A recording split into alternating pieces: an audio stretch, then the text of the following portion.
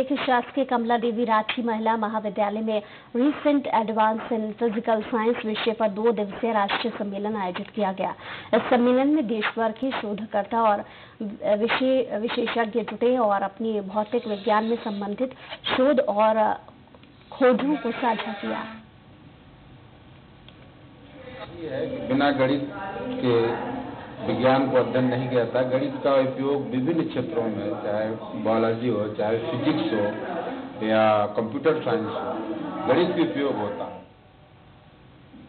हेमचंद विश्वविद्यालय जो दुर्ग में है, उसके कमला राठी, कमला कमला राठी महाविद्यालय के द्वारा आयोजित की जा रही है, और ये जो international academy of physical sciences है, जो एक अंतर्राष्ट्रीय वैज्ञानिक संस्था है उसके सिल्वर जुबली के साल में, उसके तत्वावधान में आयोजित की जा रही है।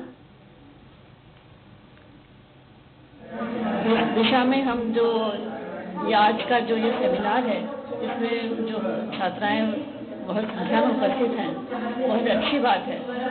अपने पढ़ाई के समय में ही उनको बड़े बड़े लोग, वैज्ञानिकों के शोध कार्यों के बारे में उनको एक्सपोजर मिलेगा।